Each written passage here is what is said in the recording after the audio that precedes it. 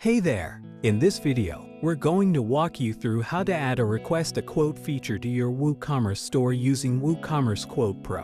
But first, let's take a quick look at the standard WooCommerce checkout process.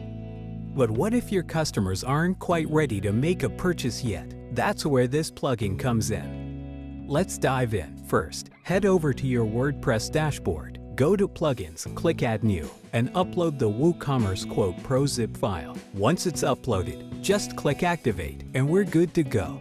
Now that we've activated the plugin, let's head back to the shop and see how the Request a Quote system works. I'm going to add a product to the quote lister and here we are on the quote page. Looks great already.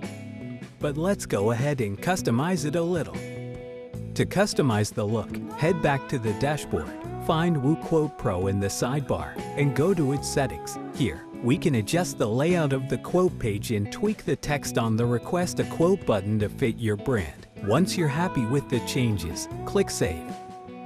Now let's refresh the quote page to see those updates. If you're using a caching plugin, don't forget to clear your cache or just press Ctrl or CMD plus F5 to reload all the new data.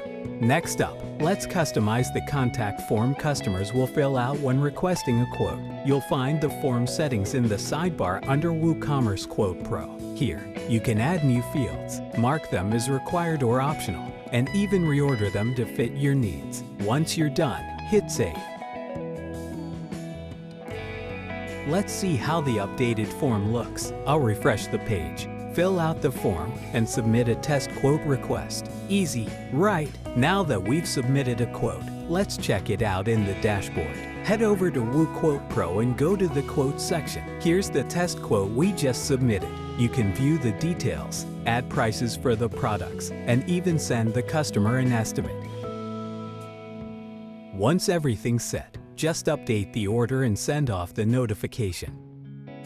And that's it with WooQuote Pro. You can easily turn browsing customers into buyers by letting them request quotes. If you found this video helpful, don't forget to like this video and subscribe for more WooCommerce tips and tutorials. Thanks for watching.